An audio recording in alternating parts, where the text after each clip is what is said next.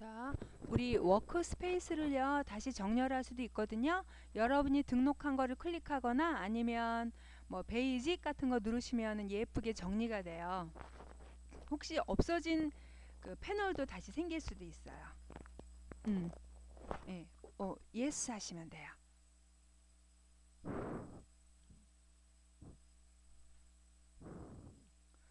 자, 이번에는요.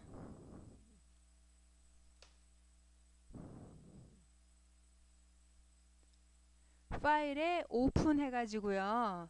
이제 심화 문제 다 풀었기 때문에 이제 처음부터 시작이에요. 그래서 벗어나셔 가지고요. 어, 실습 예제 샘플 어, 4-1번 열었어요. 핫이라는 글자를 지워 보는 거예요. 실습 예제 샘플 4-1 실습이에요.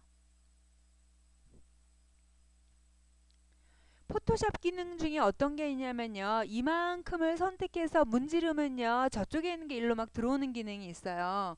그래서 콩으로 가려주는 거예요. 자, 보시면은요. 보시면은요.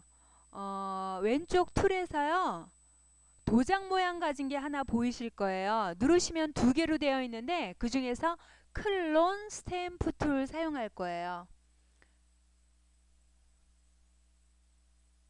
clone stamp tool. 어, 커서 모양이 동글동글해야 돼요. 커서 모양이 동글동글하지 않은 사람은요. Caps Lock 키 한번 눌러주세요.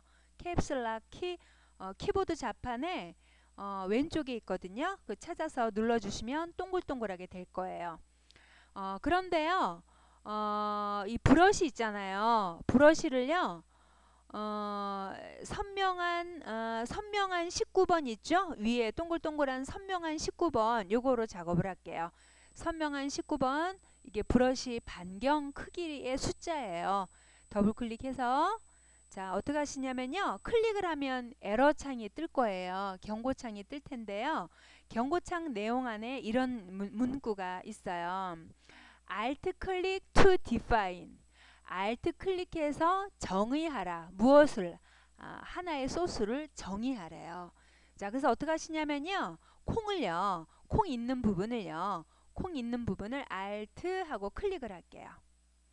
그리고 Alt를 이제 더 이상 하시면 안 됩니다. 사용하지 마시고요. 마우스가 이쪽으로 오면 따라다니는 걸 알 수가 있거든요. 그죠? 처음에 한 번만 클릭하고 Alt 클릭하고 내비두면 드래그 할 때 따라다니는데 자 드래그 드래그 드래그 드래그 드래그 드래그 근데 막 하면 안 되고요. 하실 때 예를 들면 여러분이 여기를 드래그하고 있다 그러면 어떤 일이 생기냐면 여기에 더하기가 따라다녀요. 더하기가 있는 소스가 있는 부분이거든요. 고, 거기 있는 그림이 요 안으로 들어가니까 더하기 표시 플러스 표시 그게 표적이거든요. 표적을 잘 보면서 문지르세요. 아니면 도로 지워질 수 있어요. 예, 도로 이게 콩이 없어질 수 있어요.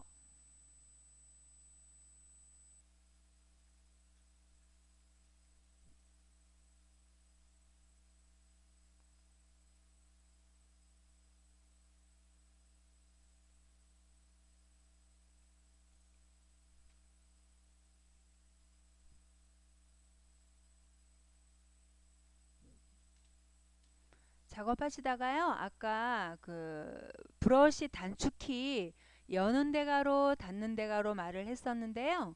작업하다가 너무 크다, 브러쉬가 크다 그러면 닫는 데가로 브러쉬가 너무 작다, 여는 데가로 눌러가면서 크기 조절해 가면서 그 표적을 잘 보면서 문질러 주시면 되겠습니다.